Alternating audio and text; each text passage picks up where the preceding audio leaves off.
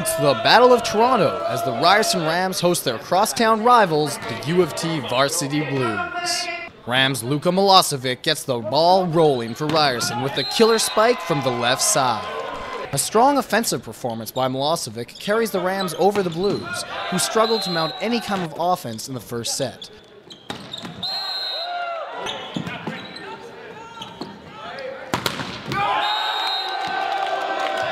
Strong defensive play by Ryerson late in the set, and a serve that the Blues can't handle from Harry Shannon allowed for a quick four-point run that earned the Rams the first set, 25 to 22.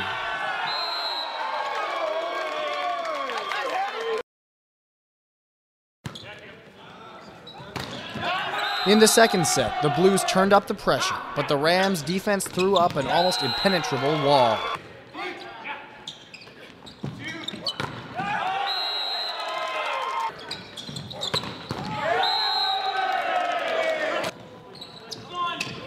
The Toronto offense could not keep pace with an on-fire Milosevic, who potted five kills in the set to carry the Rams to a 25-20 second set victory.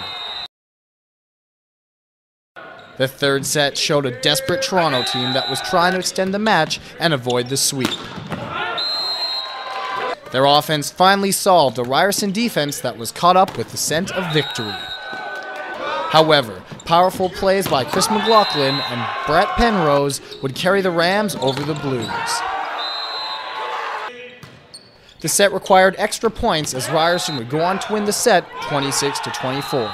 The Rams sweep the U of T varsity Blues three games to none. Milosevic and McLaughlin led Ryerson to victory with 16 and 12 kills respectively, while Stephen Kung led the Blues with 15. Taking on their across-town rivals, the U of T Varsity Blues, the Ryerson Rams came out with a completely dominant effort, winning three sets to none and starting off 2010 with a bang. Pretty happy that we're coming out strong in 2010. I think the training camp, we worked hard for two weeks in Cuba over the winter, so I think it definitely paid off, and I think we showed a lot of improvement since the first semester. We so a lot of team chemistry this year, or this semester, let's say.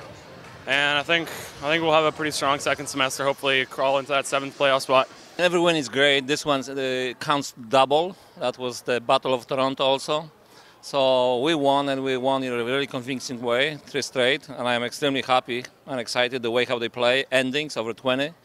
That's a big improvement from the last year, uh, fall season, when we really struggled.